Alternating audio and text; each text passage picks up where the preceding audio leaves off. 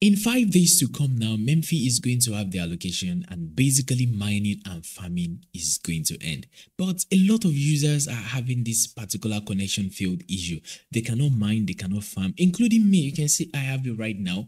But in this video, I am going to solve this issue in a simple and faster way so that you can access your MeMeFi anytime you want to do that. So without wasting too much of your time, let's go ahead into this video. But before that, if you have not subscribed to this channel, kindly do so right now hit the subscribe button below and also turn on the notification bell to get notified when I drop more other videos on this particular channel. So now, without wasting too much of your time, like I said, let us solve this issue together. So I opened my MeMeFi this morning. I have this connection failed issue. And if I click on reload bot, uh, you can see it says connection failed. If I click on reload bot again, it will do as if it wants to open, but still connection failed again.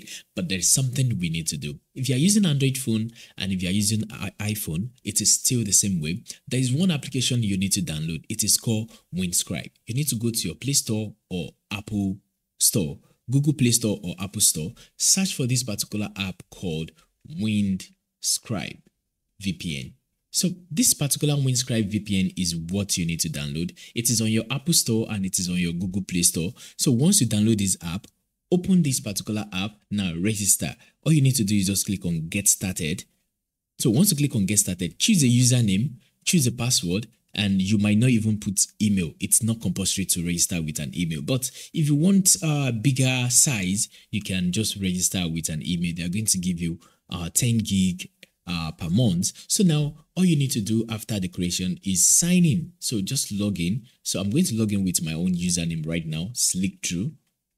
And I'm going to input my password right there. So I've input my password. I'm going to click on continue and just sign in just like that. So let's give a couple of seconds. So now I have it signed in already. So now can you see this is the VPN and what you need to do, which is the second method is you need to connect to a particular country and the country we want to connect to is France. So all you need to do is search for France in all this country. So once you see France, we have France right here. You can see it. Basically, France is right there. So just click on France. And now what you need to do is select Paris. You can see Paris also right there. So you can select this Paris. So once you click on Paris, just click on it. It's actually loading up here. Can you see there's going to be a padlock? This padlock is actually going to come right now. Can you see it has been padlocked? And now the third thing you need to do is go back to your MeMeFi. You know, we have this MeMeFi right here. Just click on reload bot once you click on reload bot and watch what MeMeFi is going to do right now. Congratulations, we have our MeMeFi right here. Can you see my MeMeFi just opened right now? So can you see?